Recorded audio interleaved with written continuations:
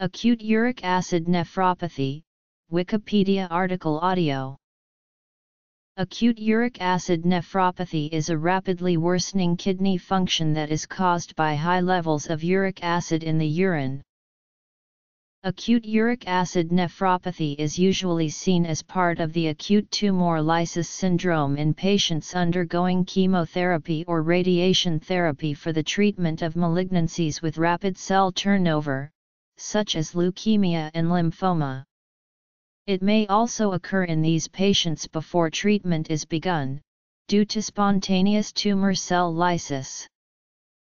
Causes Pathophysiology Acute uric acid nephropathy can also be caused by an acute attack of gout.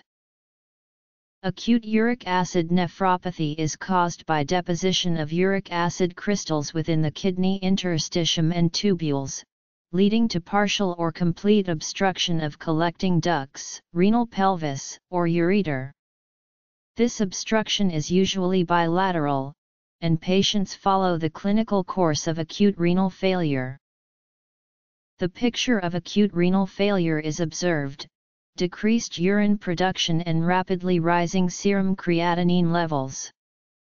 Acute uric acid nephropathy is differentiated from other forms of acute renal failure by the finding of a urine uric acid creatinine ratio 1 in a random urine sample. Patients at risk for acute uric acid nephropathy can be given allopurinol or rasburicase prior to treatment with cytotoxic drugs.